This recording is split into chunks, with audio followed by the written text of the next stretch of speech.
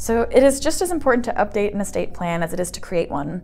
You should review your estate plan to make sure it still comports with your wishes uh, for your bequests every three to five years on average or, or after a significant life event. So there are a lot of events that could be considered significant.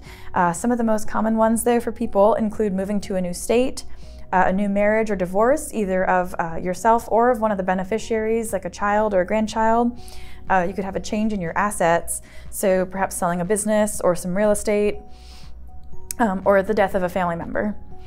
Both general durable powers of attorney and healthcare powers of attorney should be updated every five years. Laws governing powers of attorney uh, and what is or is not considered to be uh, part of a general grant of power are constantly changing and developing as courts make decisions uh, on what's permitted. So the documents that attorneys draft then change to accommodate these new holdings, uh, which is why powers of attorney will look very different um, every five years.